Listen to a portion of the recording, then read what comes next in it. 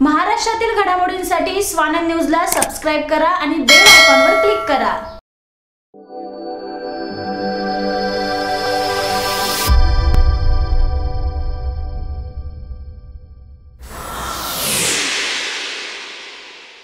वालधुनी नदीवरील चाळीस वर्षे जुना पूल मोडकळीस आल्याने नवीन पूल उभारण्याच्या कामाचा शुभारंभ आज विविध मान्यवरांच्या हस्ते करण्यात आलं. उल्हासनगर महापालिकेने या पुलासाठी चार कोटीचा निधी मंजूर केला आहे. सध्या अस्तित्वात असलेला पूल मोडकळीस आला असून तो चाळीस वर्षापूर्वी बांधण्यात आला होता. उल्हासनगर रेल्वे स्थानकाजवळ असलेला हा पूल पादचारी व मोठ्या वाहनांसाठी अत्यंत सोयीस्कर आहे.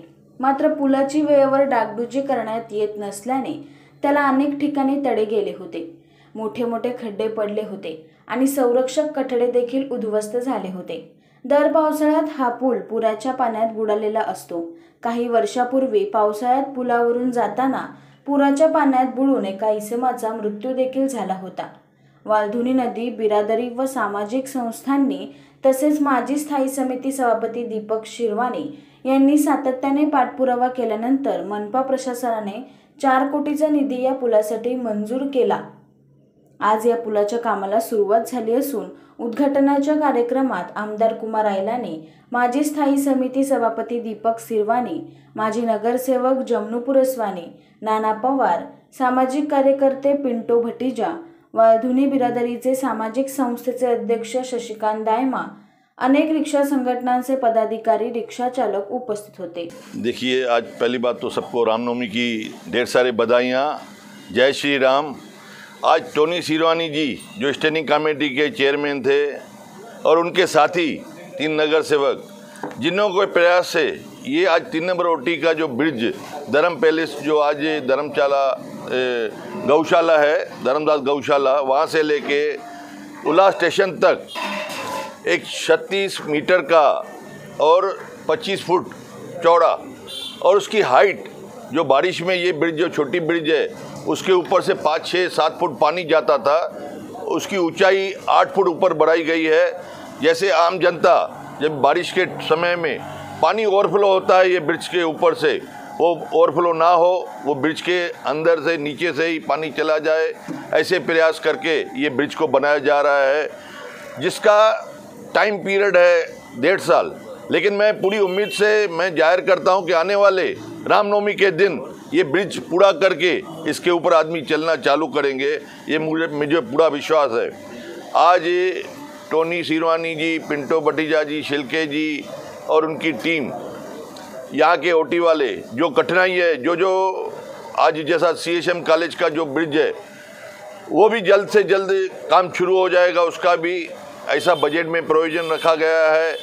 आज उसके अलावा स्टेशन से बाहर जैसा आदमी निकलते हैं, वहाँ पे कुछ सुशोभीकरण नहीं है। हमारा वो पूरा प्रयास है कि वो पूरी एरिया को सुशोभीकरण कर देवे। आज शहर का चारों तरफ़ से विकास कार्य चालू है। और हम उम्मीद करते हैं कि आने वाले समय में आप सबको पूरा ये उल्लासनगर, एक नया उल्लासनगर देखने को मिलेगा। धन्यवाद अच्छा रहेगा, सबके लिए अच्छा हो जाएगा। पानी वीनी का बाढ़ आता है, रिक्शा विक्शा कितनी पलटी हो गए रिक्शा पलटी हो गए थे, बाइक पलटी हो गए थे। स्कूल के बच्चे बच्चे आते जाते यहाँ से मदरसा के, और अच्छा हो जाएगा। चार महीना बहुत त्रास होता है हम लोग को भी धंधे विंधे का भी पूरा बंद हो जाता है। धंधा पानी है नहीं पहले ऐसा। गाड़ी का गैस का भाव बढ़ रहा है सब बढ़ रहा है। हम लोग का हालत ख़राब है पहले। धंधे लोग का। पोल्यूशन बहुत ख़राब चल रहा है। रोड बनने जा रहा है। नगर से अच्छा ना बनाइए ना अच्छा हो जाएगा ना हम लोग के लिए भी। टेंशन नहीं रहेगा ना चार महीना हम लोगों को। बस रोड बना ये हमारे लिए अच्छा है। हमारे नगर से टोनी भाई साहब टोनी भाई साहब। बन रहा है। वो कर रहे हैं हमारे लिए बहुत तरह से कर रहे हैं उसके लिए उसको सभी शहरवासियों को रामनवमी की ढेर सारी बधाइयाँ। आए हुए सभी हमारे अतिथि, आमदार जी, हमारे बीजेपी के अध्यक्ष, आरपीआई के माजी उप महापौर नाना जी शिवाजी भाई, शेलके जी, मेरे सहकारी पिंटो भाई, कैलाश जी और गुलराज साहब मैन्युफैक्चर एसोसिएशन के सभी पदाधिकारी, आए हुए सभी मेहमानों का हम स्वागत करते हैं। ये जो ब्रिज बन रहा है, लगभग तकरीबन 35 साल जूना ब्रिज जो आज, इसको निष्कासित करके हम जो नया ब्रिज बना रहे हैं इस ब्रिज की ऊंचाई के कारण जो कमी ऊंचाई के कारण रेणु का आशीर्वाद वडोलगांव अशोकनगर में पानी बाढ़ में दो दो बार साल में पानी आ जाता था। आने वाले ये समय में हमें उम्मीद है कि अशोकनगर रेणु का आशीर्वाद वडोलगांव यहाँ लासीपाड़ा इन एरियाओं में बाढ़ का पानी नहीं आएगा। आकाश सहाने स्वानंद मीडिया उल्लासनगर। श्री पंचमुखी हनुमान ज्योतिषालय। हनुमान उपासक Pandit Shri Vishwanath Bhatt Guru ji South Indian famous astrologer बहुत ज्योतिषी के पास जाकर भी आप निराशा है? एक बार भगवान पर विश्वास रखकर मिले, एक मुलाकात आपका तकदीर बदल देगा। आपका हस्तरेखा जन्म कुंडली पेस रीडिंग से आपका जीवन का पूरा भविष्य बताते हैं। शिक्षण, नौकरी, कर्ज मुक्ति, राजकारण, शत्रु पीड़ा, सास बहू में त्रास स्त्री पुरुष प्रेम प्रेम भंग, पति पत्नी समस्या, कोर्ट कचहरी, धन संपत्ति, विदेश यात्रा बिज़नेस शारीरिक और मानसिक चिंता, संतान सुख, आपका जीवन का ए टू जेड समस्याओं के लिए तुरंत मार्गदर्शन मिलेगा। गुरु जी के पास विश्वास रखकर आइए। 100 परसेंट संपूर्ण मार्गदर्शन मिलेगा।